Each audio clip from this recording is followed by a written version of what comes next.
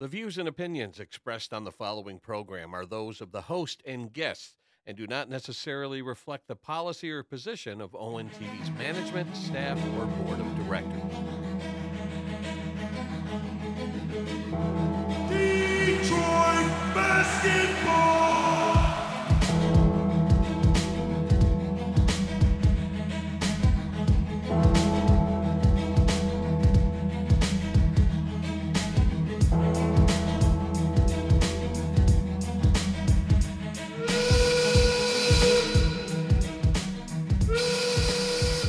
And hello and welcome into Views from the Sideline. I'm your host, Joey Tysick.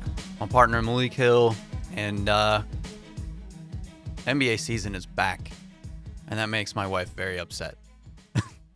It's the best time of the year. She always feels like there's no time in between seasons. And she feels like we just got over the NBA playoffs and stuff, which, you know, Listen, that they say that they have their like three month span where barely anything is happening, yeah. and they just don't take advantage of it. hmm Although we did have uh, the FIBA World Cup this year, though, uh, so that changes things just just slightly. Um, but uh, it was interesting, and NBA season's already back. There's a lot of big storylines going into the season, and um, we had our first two games last night. We had Denver Nuggets getting their their championship rings, and then beating down on the Lakers, and then the nightcap was the Phoenix the new look Phoenix Suns taking down the new look uh, Chris Paul Warriors. Did you did you get to watch the uh, the games? Both of them are just I, I watched the first game and then I fell asleep before the second one. Mhm. But yeah, the first game, the Nuggets, they look like they really haven't lost much. They knocked off the rust very quickly. Mhm. They got right into looking like the team they were in the playoffs. Nikola Jokic obviously has not done much cardio in the offseason. He said he's been in the Yeah, gym. in the he said he's been like in the weight room, yeah. so he's been getting stronger, but he really hasn't shed. He he was pretty slim down Yeah. during the playoffs, and it looks like he's packed on maybe like twenty more pounds. Right. But he's the same player. Mhm. It's it's incredible First- watching him. first game puts up a triple double. Yeah, it the how easy he makes it look just doesn't make sense. Like Yeah. Anthony Davis, one of the best athletes in the world, a bunch of skill at almost seven feet tall. Mm-hmm. super athlete, and Nikola Jokic just makes him look like another player Yeah. when he's out there. And Anthony Davis, that was a, a big talking point for the Lakers. Lakers had a couple of talking points actually. Anthony Davis scored 17 points in the first half, zero in the second half. Yeah. That doesn't make any sense. How do you have a superstar like Anthony Davis score zero in the second half? It doesn't make any sense, but we've seen it before, It's just which is sad. it's that- just wild. Yeah, I, I don't these things happen it. with Anthony Davis. Even when he's not hurt, he Mhm. has these types of games. Yeah. And that, that that already doesn't bode well for the Lakers. I know it's game 1, but to see the Nuggets just come out looking like the championship team all over again, no seemingly no rust right off the gate uh, is pretty cool to see and they're going to be already one of the favorites once again to to possibly repeat, which would be pretty wild. Um, the other thing about the Lakers that a lot of people are pointing out, LeBron James only played 29 minutes. That's how it should be, honestly. Yeah. It it is supposed to be at this point. Why LeBron brought Anthony Davis to the Lakers is to eventually take over and be the guy, Yeah. So they can keep they can keep making runs and LeBron can stay fresh. Right. Yeah, you keep them healthy for the playoffs. I don't know why people are making a big deal out of it, especially with the new rules of not being able to uh, rest superstars um, in certain games and things like that. So I would assume a lot of guys are just going to start seeing reduced minutes. They're still gonna they're gonna play, but it's still not going to be like a full slate that we're used to, I guess. Um, so yeah, and and I mean the Lakers made a lot of offseason moves. They got Christian Wood and um, who else? Who else did they get? They got Gabe Vincent, they got Yes. Taurean Prince, Yeah. who I don't expect him to score 18 a night. Yeah, he was on fire. He's a he's a really good shooter, hmm but I don't expect him to be that on on a nightly basis. Yeah, and it looks like it looks like they're already having problems with D'Angelo Russell Listen, early. eh, most basketball fans agreed the Lakers had a really good offseason. hmm On paper, they looked really good. on the court they have a lot to figure out. Yeah. They still have a lot to figure. Yeah. And then the nightcap, the Suns, like I said, took down the Warriors. Warriors were without Draymond Green. I don't know if that should have mattered, but it maybe did.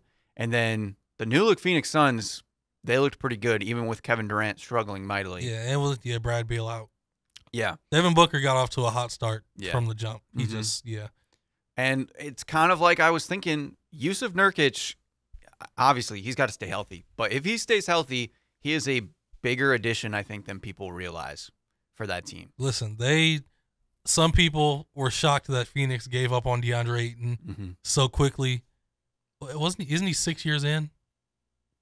He was the first Uh, pick of like the 2019 draft, 18 or 19.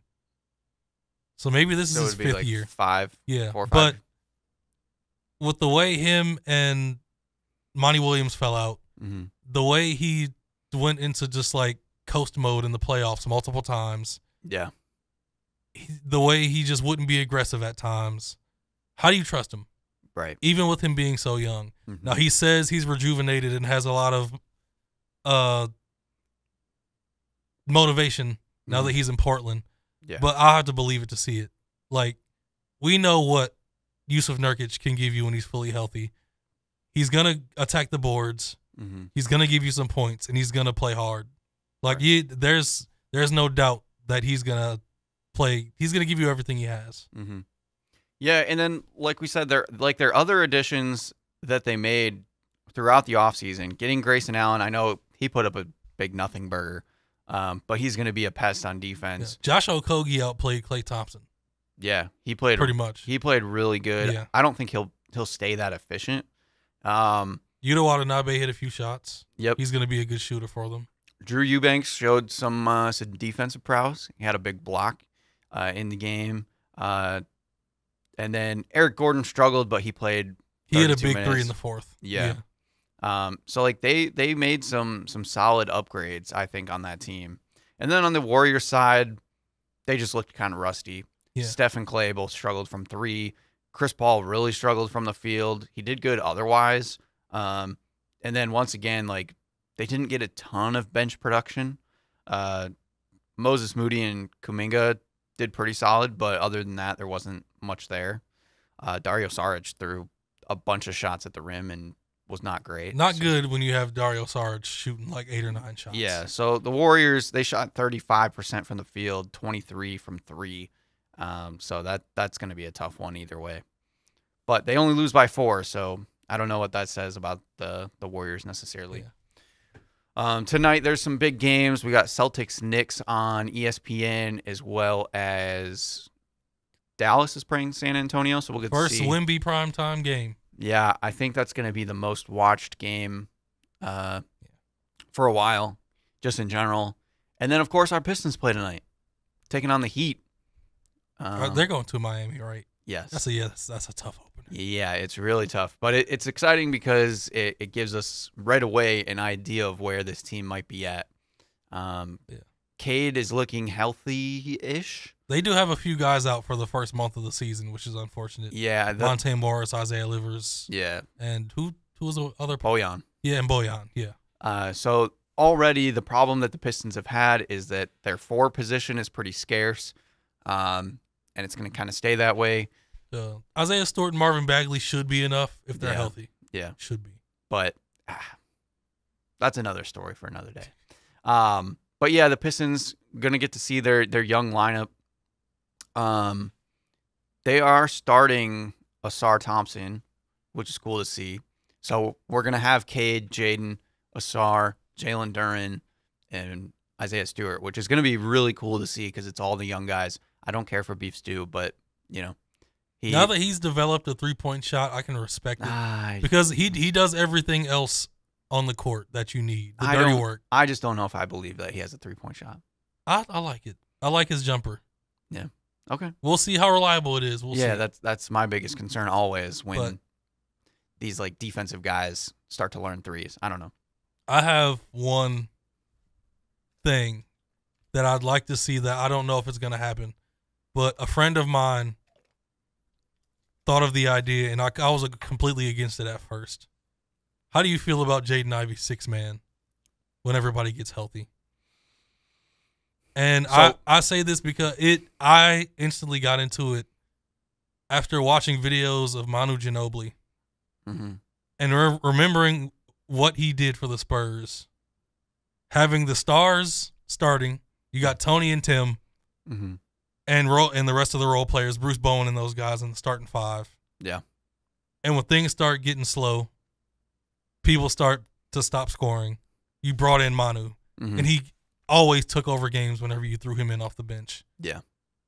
I think Jaden Ivey would be absolutely perfect in that role. Mm. But for now, he's going to start. So what I would think he would be an excellent six. what would be your proposed starting lineup in this scenario? Cade, Alec Burks, Ausar, Isaiah Stewart, and Jalen Duren. Yeah, when healthy, it would be Bojan at the three. hmm Yeah, Jaden Ivey and Ausar off the bench. But since Ausar has to play now, Ausar starting. Yeah, Alec Burks starting at the two. He's steady. He's a veteran. He can he can give you production on both sides. hmm And then yeah, I don't hate it. Um, throw Jaden out there and just let him did. I think yeah, the hardest slasher. I think the hardest part is finding a guy that's willing to buy into that role because you don't see it all too often. Yeah. Um, What the what happened with the Spurs was extremely rare. Manu Right. was a superstar on pretty much every other team in the league. Yeah. I mean, we've seen it with like Lou Williams, Jamal Crawford, but those are like three of the best six men of all Yeah. time. Are we saying that Jaden Ivey is going to be could be one of the best six men of all time? It, it's Because, because of his see. level of talent, I think it, it wouldn't be hard. Yeah. But yeah, it would have to be a thing of committing to it, hmm understanding that you are the superstar of the second team. right, and that you basically yeah. play starter minutes. Um, yeah, that that Manu thing is extremely rare and hasn't happened many times where a borderline superstar player Mhm. accepts the six man role. yeah, Even though we don't know if Jaden Ivey will be that great, but he clearly has the athleticism in the game to hmm go to another level. I'm trying to think of like who else would be on that second unit then, Yeah, Uh, this is this is if healthy. because You'd could, have you'd have Monte, you'd have Jaden Ivey, hmm you'd have Isaiah Livers, yeah, yeah, Marvin Bagley. Like you you've got guys or Killian. no, keep Listen, Killian they're gonna there. they're gonna keep playing Killian. I'm ready to give Mar- Healthy healthy Monte Morris is is the backup. I'm ready guard. to give Marcus Sasser more time, So am I. but I uh, agree. He is a bucket. So I think that becomes the hard part is figuring out that second lineup. And then I mean, if I I would think that if that's what you want to do, if you want to put Jaden in that six man role, I think as long as we have Bojan, I think you have to put Ausar in that second lineup with Jaden Ivey Yeah, for defensive purposes. Because otherwise, because otherwise you're going to get guys that aren't known for their defense, like you said, like guys like Isaiah Livers, potentially Joe Harris, depending on where Well, he Isaiah falls. Livers can defend some, Yeah, even though he's had some injuries and he Mhm. might slow down a bit. But right. three and D guy is kind of like his prototype. Yeah, but I think you want him to be more focused on the offense, I guess, um, in that second unit. I don't know. It, it's it's definitely an interesting point. Um, I'm not I'm not sure where I feel about it just yet. I guess once we get going and see kind of how the rotation works out, um, I might be more inclined to think of it. But Yeah. I don't think it's a terrible idea. I th- I think maybe the only way he would agree to it is if you came to him and like, we want you to be Manu Ginobili, Yeah. which ev- everybody respects him and knows how great he was. hmm So that it would be something to think about. But I think he would. It would take some time. It also might put more pressure on Cade to handle the starting unit, which I know he can do. Um, but having a guy like Ivey, then you can also use Cade in off-ball roles and things like that, and you can kind of use the two of them dynamically a little bit more, in my opinion. But it, it all depends. We'll have to kind of wait and see. I would say. Um, other than that, that's pretty much it with the NBA. Like I said, most of the games are tonight, and we'll get to see everybody. Um, Giannis did ex- uh, get his big extension. yeah, It's only three years, but He- it's he 187. threatened. He threatened them. They made the trade, Yeah. and he agree, finally agreed to extend. yeah, so he's got 187 million for three more three more years, and we'll see what he can do with that. And we won't see him and Damian Lillard until Thursday, I believe, uh, is their first game. So that'll be the long-awaited um, start to their season. Okay, moving on to college football. There wasn't too much going on. Um, A few a few top teams had some weird games coming yeah, off of bye weeks. Yeah, North Texas, Carolina stumbled stumbled big time. They well they lost. yeah. They just got embarrassed. North Carolina once again hmm uh drops a game that they shouldn't have. Yeah. Uh, Sam Howell and Drake Maye back to back like generational North Carolina prospects, and they've wasted both of them pretty much. Yeah. Sucks if you're a North Carolina fan. hmm But Texas barely beat Houston. Oklahoma barely beat UCF. And uh yeah, besides that, the yeah, the big game was Ohio State, Penn State. hmm Yeah, and then the uh, Michigan Michigan State game happened and ended quickly. Yeah. uh, Michigan blew out Michigan State. Um, Michigan State put up a big old zero against Michigan, so uh, that just tells you, like we said, Michigan State's season is over. Um, Penn State, Ohio State. What do you what do you take away from that game? Ohio State taking down Penn State. My my main takeaways, first of all, James Franklin might be a fraud. He might be stealing money from Penn State. He can never win the big game. He can't. He's won in something against top 20, top 10 teams. He's like, oh, and 10. It, it's some absurd numbers. He Mhm. can't win a big game. He hasn't been, he hasn't proven he can do it. Yeah. This was finally supposed to be the team where everything came together. hmm Receivers couldn't get open, and Drew Allar and Toe couldn't do anything really. This was his first like major game as a college quarterback, and he got no help from the offense really. A lot of people were blaming him, and I I just don't. When your when your receivers aren't getting separation, and you're just in the pocket, and he's not really a scrambler, I don't know what people expected him to do. Yeah. So he ended with an ugly uh, stat line, but yeah, the Penn State's offense just doesn't have juice right now. hmm Uh, both teams have really good defenses. Ohio State's defense is a little bit better. They have a defense to make the playoff, but I still don't fully believe in their offense. The run game was once again average to below average. hmm Marvin Marvin Harrison is saving the day. Yeah. Their their defense is so good that all they need is a few Marvin Harrison big plays and a few big chunk plays in other areas to get down to the red zone and either like kick field goals or just get a touchdown every now and then. Right. But the explosion overall just isn't there for Ohio State. hmm They're relying on defense majorly for the first time in, in some years. Yeah. I don't see either of these team beating Michigan teams beating Michigan right now. Penn State having a home field advantage might help. hmm I I just don't see Ohio State beating Michigan in Ann Arbor at this Mhm. point. Yeah. Obviously, things could still change, but there's only a few weeks left. right. Michigan is about to have a bye week. They play Purdue at home, and then begins the stretch. Penn State, Maryland, Ohio State. Yeah. My mic just went out. Oh wow! I'm gonna try to switch it. Oh, Oh, there we go. wait. Okay. if it goes out, I'm gonna pull the other Okay, one and yeah. uh, a little bit of technical difficulties, but we're good. Yeah. But Uh, yeah, uh, I I don't have full belief in Ohio State yet, but their defense is good enough to get them to the playoff again. Yeah. And Penn State just yeah once again couldn't get it done. Right. And I would say too, like if if Michigan Ohio State gets in a slow paced game, that definitely gives the advantage to Michigan. I would Yeah. say because that's kind of the way they want to play. Um, even though they've proved they can they can put up points a little bit more. And I think for the first time, I I don't know how long it's been. I think Michigan has the quarterback advantage in both matchups. Mhm. If you throw pressure at JJ McCarthy, he can run around and make a play. Yeah. He can move. He can uh, break away from a pass rusher, make a move, run around, and then find an open receiver. Mm-hmm.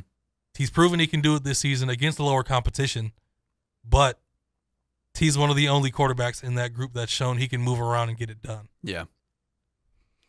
Um, before we get to the last topic, um, because we're gonna go short on college football because there's not a ton to go off of, um, and there's not too many crazy games this week, and we'll kind of recap them later. I do want to shout out, they did it, James Madison, top 25, Round of applause, people. number Dukes. 25. You they the NCAA has to respect them. Mhm. They have to pay attention. And if they win their conference and they don't get a chance for let alone a bowl game, but they they should get a chance for a New Year's six spot Yeah. if they go undefeated. Hmm. Cuz they just been burying everybody. Yeah. Especially now, if I mean, it seemed like nothing at the time and for a while. And they only did it by one, but they beat Virginia, who just beat North Carolina. Yeah. I'm not saying you can compare the two, It- it the two means a teams little bit of something. necessarily, but It means a little bit of something. right, there's something there. Um, they do have one more kind of big game against Georgia State. Georgia State's six and one in their Yeah. conference, so maybe that's like their final bigger win. But uh, congrats uh, to James Madison for making top 25. It's pretty cool to see. Um, and finally, we got to talk about Michigan. Unfortunately, Can I'm- I can I make a few notes before we get to the big controversy? Okay, yeah, So USC frauds, like always. Caleb Williams just get ready for the NFL. Which, speaking of which, Caleb Williams is still projected to be like the number one quarterback off the board. Yeah. And I would say Chicago, you know, has a good chance of being one of those top picks. Chicago has Tyson Bagent now. Okay. Why go for Caleb okay. Williams? Okay. D two quarterback. I hate that people are saying that Tyson Bagent is better than Justin Fields right now. Uh, that's ridiculous. Um, obviously, But so I saw somebody do like a mock draft and they're talking about the Chicago Bears. So the Bears could have potentially two top five picks. If that happens, and especially if Chicago has the number one overall pick, tell me why Chicago should take Caleb Williams over Marvin Harrison Jr. why they should take Caleb Williams first? Yeah. Well, first of all, I think taking a receiver first is just what I had. That hasn't happened since Keyshawn Johnson. Mm-hmm. That- I was, I believe, that was 94, 95. And that hasn't happened many times in NFL history. Yeah. Keyshawn was a good Pro Bowl receiver, but he never lived up to being the number one pick. Right. Marvin, Marvin- Harrison looks like a generational talent, Right. People are comparing him to a lesser version of Calvin Johnson just because but in the Bears organization that doesn't know how to use much of anything, Yeah. if you don't go quarterback first and you just go with Marvin first, Mm-hmm. like Justin Fields and and uh, DJ uh, Moore DJ Moore. look like they have good chemistry right now, but they had one big game, and outside of that, what else have they done? Yeah. So I I don't know if I could trust that. Okay, my point being, do you think at this point that Caleb Williams is still that much better than the other quarterbacks in this draft class?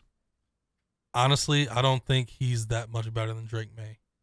That's my No. reasoning. He's he is doing a lot of what Pat Mahomes had to do at Texas Tech, which is do everything. hmm Because a lot of times the running game is going to fail, the O line isn't very good, and the defense is bad. hmm That is exactly what Pat Mahomes had to deal with at Texas Tech. He had an offensive minded coach that didn't care much about defense in Cliff Kingsbury. And Caleb Williams has an offensive minded coach that doesn't care much about defense in Lincoln Riley. hmm So the similarities are there. hmm I understand them taking the, him with the first pick because it's basically like the same thing Pat Mahomes was in college. Yeah. But I think Drake Maye is extremely talented also, and he could be an even better fit for the NFL because what are the odds of Pat Mahomes happening twice? Right. What are those odds? hmm And I've heard a lot of people say that Drake Maye is more of a system quarterback, which is kind of what the Bears have always had, and he might just fit into their system better. And you give I don't know what the Chicago system even I is. Yeah, that's, Uh. That's another That's a good point. Yeah, Um, but then, just a mess. but then you give Drake Maye, Marvin Harrison Jr. that would help along with DJ Moore. Yeah. Whereas I feel like there's a chance, depending on where that second pick for the Bears falls. Now, if they have one and two, obviously you take Caleb Williams and Marvin Harrison Jr. But if they fall to like four or five, maybe even three, then like Marvin Harrison Jr. could get taken. So I don't know. To me, it's just interesting uh, thing that I thought of. But sorry to, to sidetrack us. Yeah, just, I'm just gonna hurry up so we can yeah get to the real thing. Air Force Yeah. undefeated top 20 team. Congratulations to the Falcons. Yeah. Uh, Missouri up to number 16. They go to Georgia this weekend. Yeah. Could be fun. They most likely don't win, but if they pull it off this upset, Mm-hmm. oh boy. Yeah. Things would get very interesting in the down SEC this year. Yeah. And uh Alabama's just still here. I, I Mhm. don't know Hanging how around. like this is the worst war, quote unquote worst team Mhm. they've had in years. And they're they're just winning games. Yeah. Like barely beat Arkansas. It is what it is. Got past T- Tennessee. Tennessee goes up thirteen nothing. We still beat them thirty four to twenty. Mhm. They're they're just they're just winning games. Yeah. Not nothing impressive. Mhm. Nothing to write home about. But they're just undefeated in, and in the top ten. Yeah. The thing the thing that stinks is that they have to like they're just kind of waiting around so that if somebody else Yeah. makes a mistake, They'll they'll just slide in. they could pounce. Yeah, it's pretty strange. But yeah, let's let's get to what everybody wants to hear about. All right, Michigan is Michigan football has been in the news a little bit lately, Just a little bit. and uh, it's not for anything good. Uh, they have been accused of sign stealing, and not just sign stealing. They've been going, uh, having a Michigan employee go to other stadiums. Uh, a quote unquote low level staffer. Yes, and scouting with, uh, I guess, video recording software of some sort and filming uh, their signs and stuff, which is against the rules. I will not act like I know a whole lot about these rules because they're very We specific. we literally like just looked at them before this started. Yeah, they're a little bit convoluted. Um, obviously, sign stealing is not against the rules because coaches are holding up big old boards Yeah. on the sideline. So if you can figure out the signs, it's really no big deal. The problem is when you go to other teams, scout their facilities or whatever, go to other games, uh, video record their signs to be able to maybe learn them a lot faster. That's when the problem uh, occurs. Um, to me, I don't want to. I don't necessarily want to downplay the situation because obviously it's it's grimy. It's uh, uh, it's just a bad look in general. Um, we know like the Houston Astros in the World Series were known for it for, and they got you know a little uh, smack on the wrist, and then everybody forgot about it. It feels like so. I mean, some people still hate the Astros um, just for that reason, but at the same time, you know, life moves on and people forget about it. And the Astros have been a completely good baseball organization for multiple years now since they've won that title. Um, and on the same side, Michigan, their football team has been good for a couple years now. And the big argument is that, you know, everybody does it. The NCAA, we've said it many times, is very scummy. It's just, it's not a great organization. They Things- enforce rules when they feel like it. things go on all the time. Um, if you listen to a lot of the coaches' interviews this week, they talked about sign stealing is a very common thing. Uh, Matt Rhule came out and said this is why we need mics in the helmets. He said he doesn't understand that high school, and the good point that I think he made, high school football uses technology on their sidelines all the time. They do all sorts of stuff. We're at every Lake Orion game. They have tons of video boards, replay boards, um, just on their sidelines, headsets up top. NFL, quarterback has a mic connected to the coach. They can talk, make uh, your plays so much easier that you don't have to hold up these big old boards. For some reason, college is just stuck in their ways and they don't do it. Um, now, that's not excusing Michigan from, you know, like I said, stealing the signs, eh, like scouting them in person, videotaping, and stuff like that. Um, but they wouldn't like you wouldn't have to worry about that if you would allow college football to have that technology. You don't then you just it's it's just not there. It does it doesn't happen. Um, so to me, it doesn't it doesn't make a lot of sense. Um, and to, to be honest, like at least in this season, it seems like Michigan would have beaten mm. everybody that they faced. We always talk about Michigan has like the easiest schedule in college football this year. So I don't know if it changes anything. And that's again, that's not something to be like, oh yeah, because they didn't play anybody, it doesn't matter. It's that's where it's hard for me to like figure out exactly how I feel about it. But at, at the end of the day, it just seems it just seems dumb overall. It's similar to the Michigan State situation in a way that like Mel Tucker was just dumb. Michigan is just being dumb. And at the end of the day, I don't think it it fully mattered. Like this team is what they are without that. And it just it just makes it bad optics, I guess. Uh, so I don't know. I'll let you go about it. I don't want to go anymore because I don't I don't have a whole lot of thoughts on it overall. I'll start this by saying I agree that it is bad optics. In many ways, yes, it's- cheating. And at the end of this investigation, Michigan may need to vacate some wins. Maybe it's possible. Mhm. Going to other stadiums, recording signs. That's that's something that most people frown upon, Mhm. and I can understand why. And uh I don't care. I wouldn't care if Ohio State did it. I wouldn't care if Michigan State did it. College football has been open season for over 50 years. Mhm. 50 plus years. Everything has been on the table. It was just, well, everything, it used to be under the table. Yeah. A lot of people nowadays say, I don't like it because it's in my face now. I liked it when it was behind closed doors. Either way, it's cheating. Teams have been cheating. Teams have been stealing signs. Teams have been doing dirty stuff. This has been a part of a part of college athletics and college sports and college programs Mhm. for years. For as long as we've been alive and even more time. Teams have been doing whatever they can to get an advantage. Mhm. And I just do, it doesn't make me feel any type of way. I don't understand the certain analysts and journalists in college football, certain fan bases that are like, you know, if you don't take this seriously, you don't understand college football and you don't love this sport. Get stop it. Shut up. Yeah. Stop it. I love college football more than most people. I am obsessive. I am a college football sicko. I watch it every week during the fall. I can't get enough of it, even with all the changes that are disgusting and somewhat ruining the sport. Yeah. I'm down for college football forever. Mhm. And I just do not care about this type of stuff, especially when it comes to the NCAA, who I don't care about their rules because they also barely care. They just enforce them whenever they feel like it. Mhm.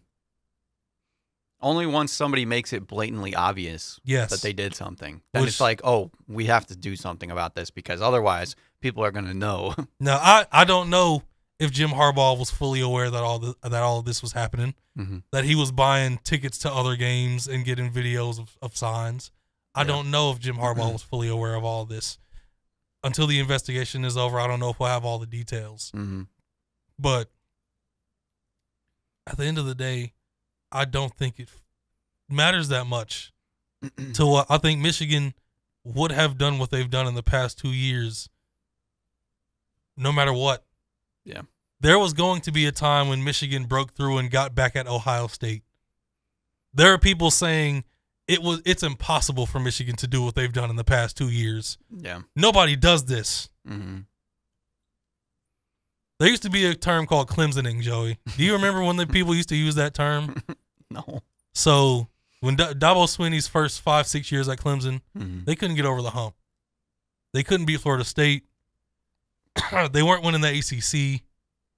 People were saying Cle- Clemson doesn't get over the hump. They get to a big game and they get smacked or they get embarrassed. This is what happens to Clemson. They can't get over the hump. Yeah. And then it happened. It just happened. Mhm. He got the right athletes, he got the right quarterbacks, he had the right coaches, and everything just clicked. Everything hit into a groove, and two national championships later, Clemson was looked at as one of the top three programs in the country almost. Yeah. These things happen. Mhm. And for a program like Michigan, who's a historical program, who has won before and had their ups and downs, things like this happen. Mhm. to top programs. You have your ups, you have your downs. Florida State in the 90s up, Florida State in the 2000s up and down. Florida State wins one in 2013. They go back into the dumps for five years, and now they're back into playoff contention. Mhm. These, I, I don't understand how people think it's impossible. Yeah. Jim Harbaugh had to fix things at Michigan. Like things were not in a good place when he got back here. and yeah, they won 10 games when he first got back. Things he had to get new at, to, to bring in like better players, better coaches. He's had to reinvent Michigan at least like once or twice since he's gotten here. And things just hit a groove. Things clicked. This happens in college football. I don't care about the sign stealing.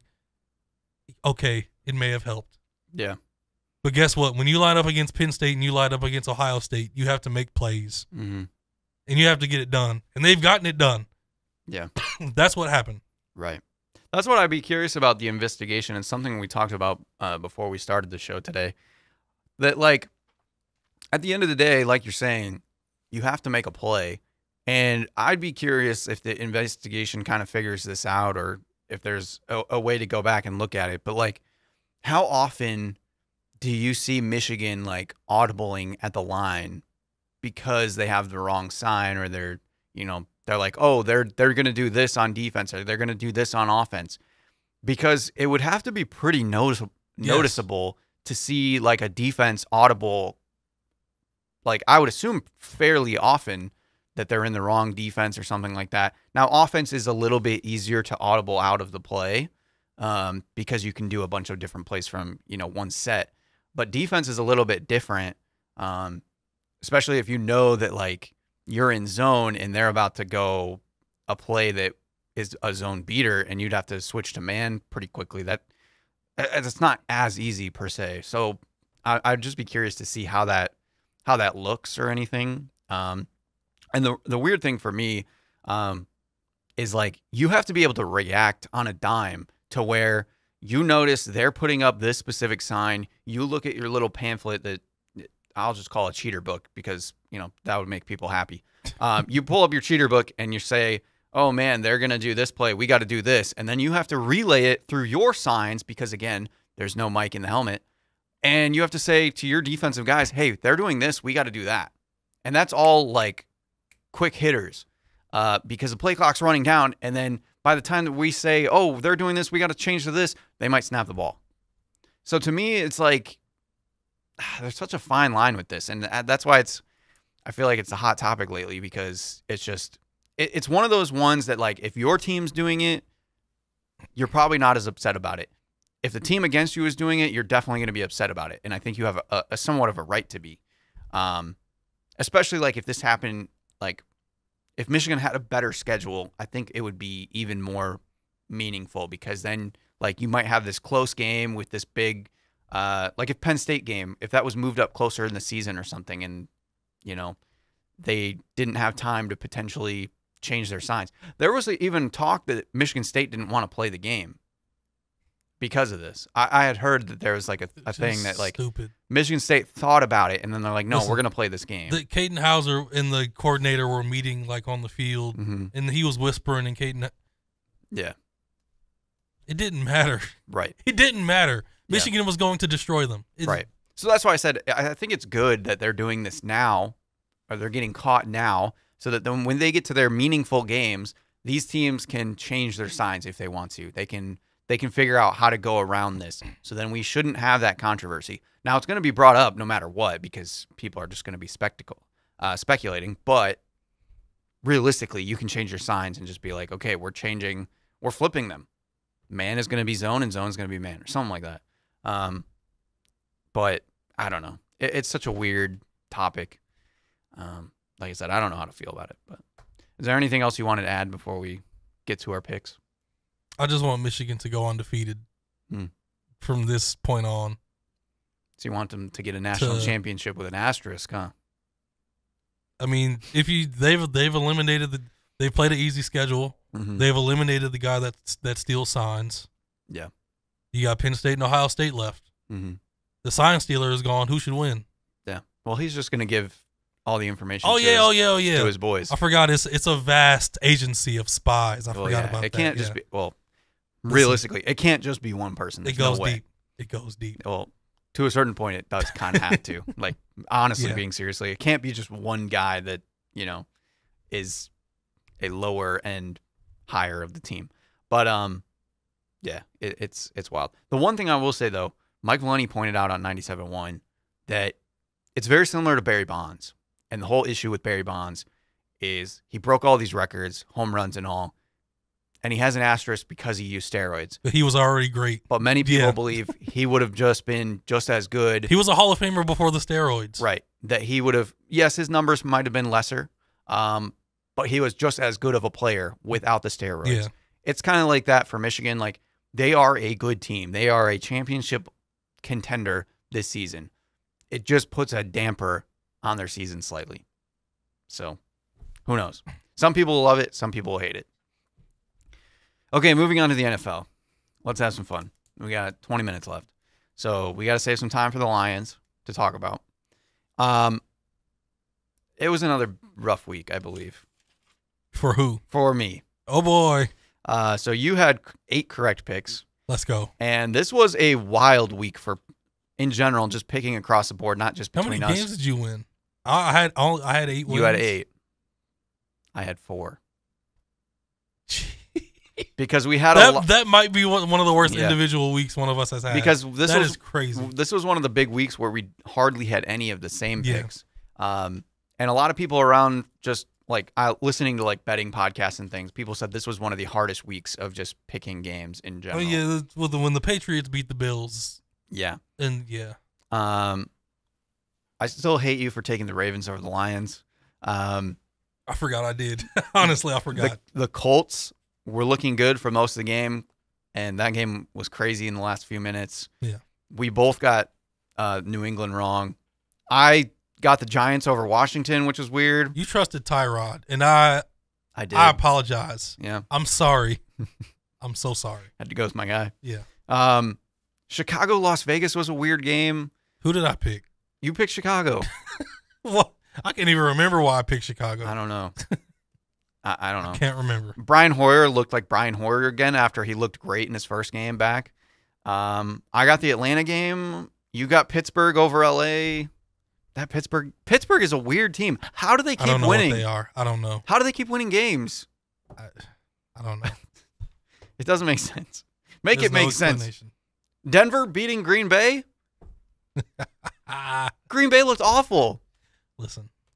They look terrible. I, I I figured in this type of game where both teams are just they're just silly teams. yeah. So like I was like Denver might as well just win this game. So I talked about it with Marie on the fantasy football podcast yesterday. I played Jordan Love, Luke Musgrave, and Christian Watson in my big money fantasy league because I have Lamar Jackson. And I said, I don't want to play Lamar Jackson against the Lions because I'll feel bad. I felt worse because he went off on my bench in fantasy. And so I've learned the lesson that, you know, a you lot of people separate fantasy from a, your. a lot of people are like, "Oh, you should you shouldn't like cheer for your fantasy players when they're playing your team." But my thought now is I went to Jordan Love, he played terrible and the Lions lost. Yeah. So it's double losing. I would rather go into it play Lamar Jackson because if he plays well and the Lions lose, then at least I won in my fantasy league. On the opposite spectrum, if the Lions go in and beat the Ravens and Lamar Jackson does terrible, then okay, my fantasy team lost, but the Lions are now 7 and 1. Yeah. So like that's like a a win-win scenario where like, you know, I'm going to be able to make that up. So from this point on, I'm going to go with that logic. Super annoying anyway. So I kind of just I hate Green Bay even more right now. Um I picked the Chargers again. I'm I- I need help. I, I need help. I can't pick the Chargers. We talked about this at the beginning of the season, Joey. I, I asked you why. I, I know. I know. I asked you. Uh, they were they get they got Austin Ekeler back. I thought they were going to be okay. I did get- nothing. I did get Philly correct. Looks like Miami they they- may just not be a playoff team. They're struggling against good teams. And Minnesota on Monday night. What the what the heck? Jordan Addison just gave it to him. Christian. McCaffrey was back and San Francisco looked lost. I, I don't get it. It's wild. Listen, dude, George Kittle gave me a few fantasy points, so I don't care. Yeah. So onwards and upwards to uh, to week eight. Uh, Thursday night football is Tampa Bay at Buffalo. I can't pick Tampa Bay. It's at Buffalo. Buffalo just lost again to New England. They have to have one of those revenge tour type games. I yeah, I also agree. Buffalo bounces back. This is the type of game where yeah, their offense looks unstoppable. Yeah. Uh, we got the Rams at the Cowboys. This is at Dallas. I, I can't trust Matthew Stafford to be this honest. This would be the funniest game for the Cowboys to lose. Yeah. Oh my god. I could see it happening, but I don't know. I, I can't trust. Like Matthew Stafford is just. He's such an enigma. he is. Like Puka Nacua and Cooper Kupp, he makes them look great, and then he throws a pick or something like that, and just Give me the Rams. hurts the team. Okay. Yeah. The yeah, this is one that feels like it could bite me in the butt, but I'm going to take Dallas. Minnesota, Green Bay. I don't want to take either This of these teams I'm going to take Minnesota just because Jordan Addison is balling. just because And I, Kirk Cousins is better. I don't want to take Green Bay. I'll take Green Yeah. Bay because of their defense, not because of their offense. All right. That's all. Uh, pick. Atlanta at Tennessee. Bijan Robinson. I'm waiting for Atlanta to Listen. get fined. I heard Bijan was, wasn't feeling well. I Yeah. think that's what Arthur Smith said. hmm But they never reported the illness. Did you hear that? So a lot of people think that Atlanta should be fined because they never reported it, and he only played like a few snaps. Yeah. I heard some people saying it was a rumor Bijan said something crazy to Arthur Smith. I don't. well, Nobody knows Yeah. what happened. Then there was later like he wasn't feeling himself. I heard headaches. I, I don't know. And then Tennessee, they're talking about uh, moving on. They're they're talking about uh, trading DeAndre Hopkins, trading Derrick Henry. They're expecting Will Levis to start this week. You mean the Falcons. I'm going with Tennessee. I know it's crazy. You're you're taking Will Levis. This is like one of those Tennessee type games. You're taking the Mayo man. That's what you're doing. this is going to be the most boring game of the week. You know that, right? Two run first offenses, pretty quality defense. I wish you good luck on that one, sir. I wish you good luck. I, I might need it. Uh, New Orleans at Indianapolis. New Orleans sucks. They've looked bad. New Chris- Orleans sucks. Chris Olave is in the handcuffs right now. Man, Well, actually, he's in a jail cell, so I I don't know if he's been released yet. I don't know what they do. He was I caught speeding, uh, going 70 and a 35. Come on, man. Maybe they went with Jameis. I, I, does he add it? I don't know. I don't know. Indianapolis. Yeah. They should have won last week. They played tough. I, I like them a lot. I like the Colts. I, the problem is I'm starting to get that pressure of feeling like I need to start making ground in picks. You might need to play it safe just so you can stay afloat. Because if you Maybe. you have another terrible week, yeah, it could be over. there could be some separation. could be over. There's a lot of time left, New Orleans just has a good defense though, and I feel like that can always keep them afloat. but they suck. but they though. look so bad. You're right. Let's go Indy. Watch us both lose that game. Yeah, that'll be it. New England at Miami. New England just, I, I don't know. They played well. New England played well. Mac Jones had his first like clutch game winner. Mhm. Miami Yeah. Dolphins all the way. I mean, it'll be it, they they New England knows how to slow Miami down. Uh, if we this saw was in New England, I might take the Patriots. But it being in Miami, well, we already saw that matchup, and uh, that was Tyreek Hill's worst game. So like they know how to scheme against him, but they're just not good enough to to Yeah. beat them in the end. Uh oh, the Battle of New York, Jets at Giants.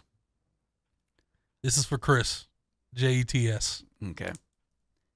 Unfortunately, I don't think Tyrod's starting. I think Daniel Jones is supposed to be back. Oh back. man, Um, but I feel like the Giants got a little juice in them, and maybe, just maybe, they'll let Tyrod keep starting. good good 14 point division win. That'll that'll get the blood flowing. Yeah, That'll get it done. I'll go for the Giants though. Uh, Jacksonville at Pittsburgh. These are This is a strange two game. wild teams that I don't understand. Jacksonville at Pittsburgh. Calvin Ridley's fallen off the map. They're five and two. Pittsburgh's run run game is just non-existent. Travis Etienne is so good. yeah, he's played He really is- good this yeah. year. Christian Kirk is having a good season. George Pickens is starting to pick it up. I'm, I'm weighing the pros and the cons, man. Diontae Johnson is back.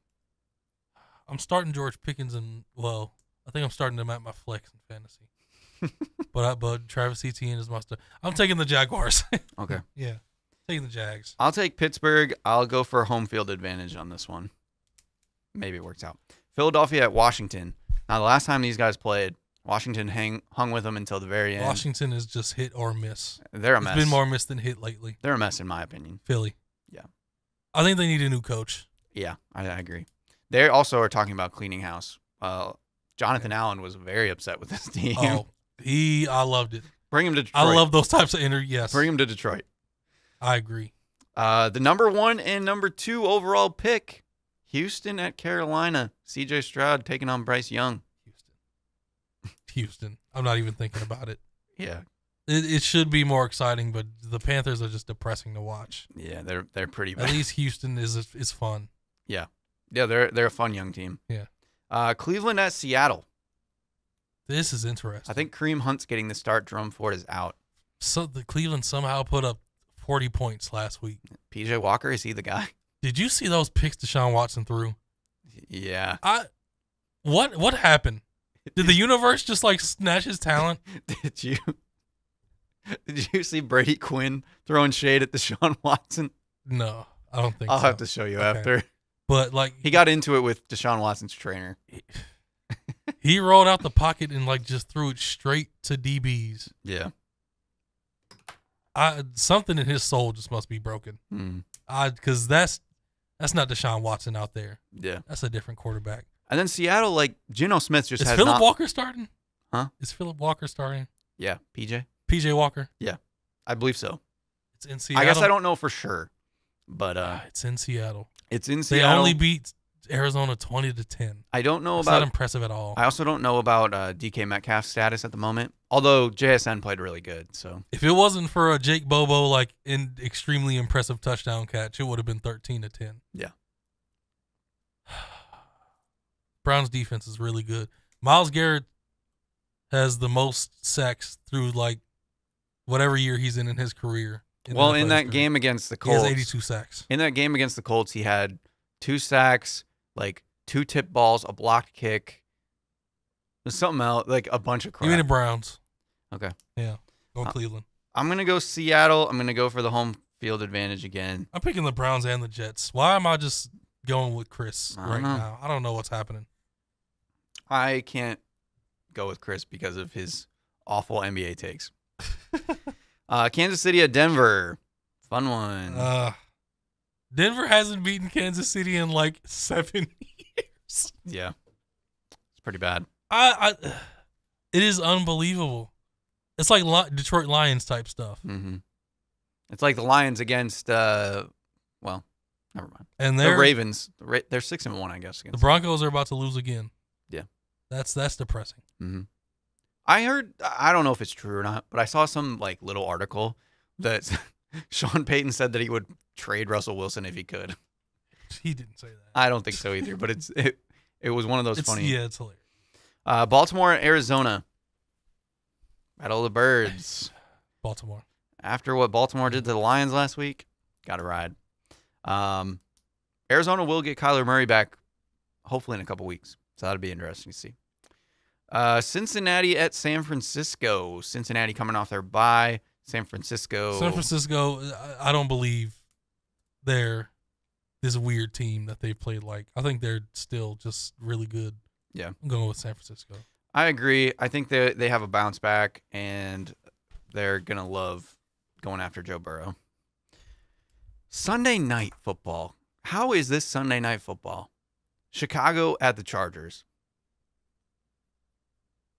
Tyson Bagent taking on the Chargers. If the Chargers lose this game,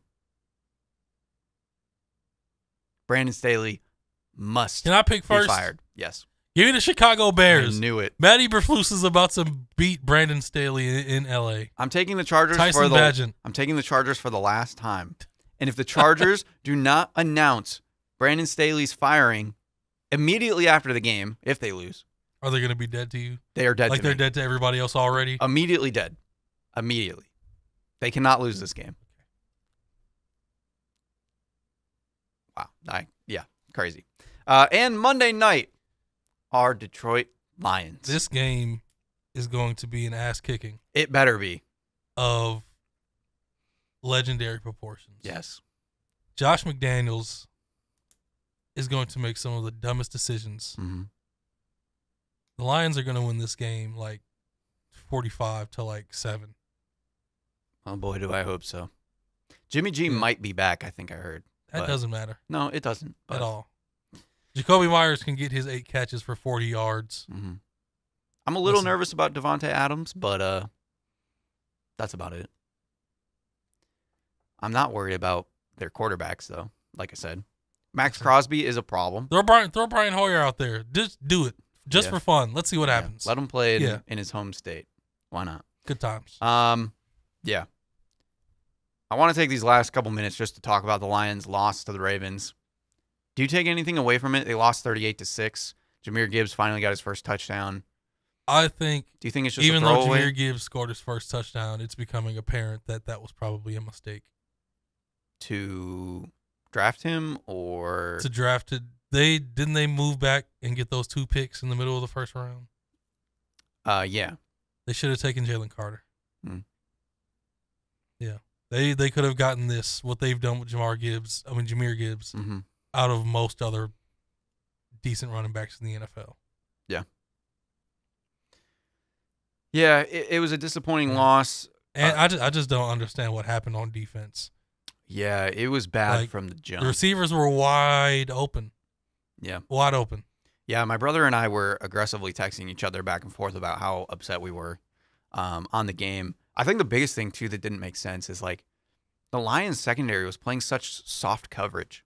And like the ravens guys like yes zay flowers has been good uh, coming out the gate as a rookie. But like they're not like world beaters from the receiving end to like garner that much like i guess appreciation that they should be playing so soft on them like just get up and press those guys like obj is done like i don't know it, to me it was bothersome obviously the defensive line not getting home They gotta they gotta make a move. we, we knew we knew Lamar would be a problem for them, but like the big one that everybody points out, giving him 10 seconds in the pocket is just unacceptable. I don't care if he's Michael Vick or what. Uh, it's it's wild. Yeah. Um, I agree. They definitely have to make a move. Now, there's been some talk that Brad Holmes and Dan, Dan Campbell said that they don't want to make a trade because of the vibes of the team. They don't want to mess anything up that's scary talk. I hope that they're just, you know, doing coach speak there to try to keep their guys happy because I think they need to make some sort of move. Um, I don't know what the best option would be um, because we we've talked about kind of the the like cream of the crop that we would want the Maxx Crosby's, the Pat Surtains, but we have to look more realistically of somebody that would possibly help. That's why I kind of even brought up Jonathan Allen. He's more of a veteran guy wouldn't probably cost as much. Something we could look at. Um, I know there was a, a thing that 97.1 was talking about today about different players that might be on the trade block that the Lions could look at. The first couple that they put up were like Derrick Henry, Jerry Jeudy. I don't know if the offense needs a ton of help. Uh, maybe another wide receiver would be nice uh, just for a depth piece now that Marvin Jones has been released and stepped away from the team. Um, so that's a possibility. Um, but I'm still holding out hope for JMO, which if JMO doesn't show up on Monday night against the Raiders, The clock is ticking. it could be a problem. Yeah. So we'll see. Uh, For the most part, though, I'm throwing away the Ravens game. We knew the Lions weren't going to go 16 and one. Like I said, if they would have won that game, I would have come in as a slappy. So it's probably best that they they lost that game. It's another one that says, "Hey, we're not there just yet," um, and you get punched in the mouth. And I think that's that's a good way that you can uh, regain your confidence, have a nice bounce back, and then they can beat up on the Raiders, go into their bye week, get ready for the Chargers, and be uh, just fine if they need to. Yeah. Oh, and Jared Goff just didn't look that great either. Like a lot of his passes were off. So I don't know if you have anything else on the Lions, but uh, at least we get to see them in prime time on Monday night. I do believe there's a Manning cast for the game too, which is going to be fun to watch. So Lions in prime time at home. I hope the fans should be there in full force, which is great. So excited to see. Anything else before we uh, call it a show? Uh, no. Okay. Else. The one thing I wanted to say, the Red Wings, keep an eye on them. I know we're not a hockey podcast, but they are playing really good right now. The offseason edition of Alex DeBrincat that they got, um, he has the most goals in the NHL right now, and uh, they are they just lost their second game. I think they're five and two or six and two or something. So, if you're interested, might keep an eye on them. But this has been views from the sidelines. We'll see you guys next time. Actually, I do have one more. Diamondbacks made it to a World Series before the Tigers. Good night. Diamondbacks Rangers. Wild.